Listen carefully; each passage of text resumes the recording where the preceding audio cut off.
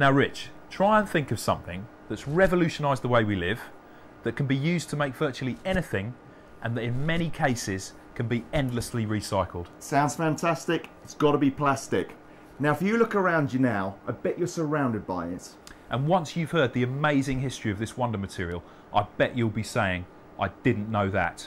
Only on the National Geographic Channel, this one's a cracker, and we had a riot.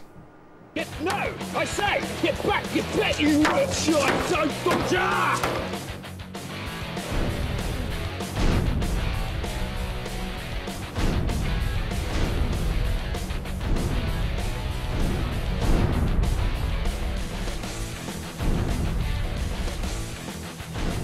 These things are seriously well made. Get back! And even everyday plastics, like the one used in these traffic cones, can be extremely resilient. Now, this is acid. It's concentrated hydrochloric acid. I'm going to pour it into this flask containing some tin just to show you how chemically corrosive it is. Now, already it's fizzing. It's working on the metal, dissolving it, corroding it right down. Now you've seen how strong this acid is, let's see how resistant the plastic is.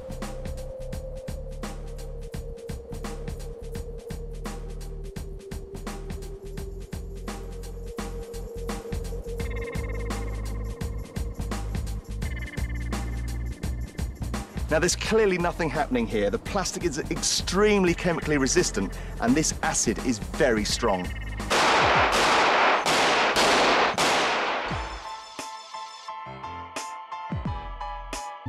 But its most famous use, of course, was for film. And where would Hollywood be without celluloid? But it did have one major drawback. One of the key ingredients of celluloid is nitrate, which made it very, very flammable. Because of this, very few things today are made from celluloid, but it's still used to make ping pong balls.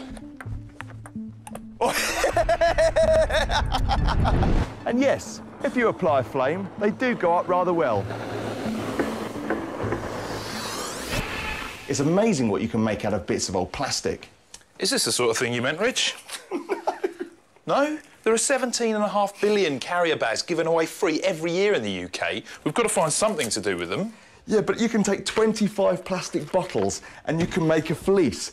Now cover yourself.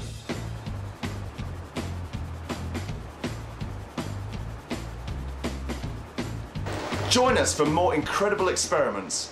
I didn't know that. Did you know that? I didn't know that. Did you know that? No, I didn't know that. Only on the National Geographic Channel.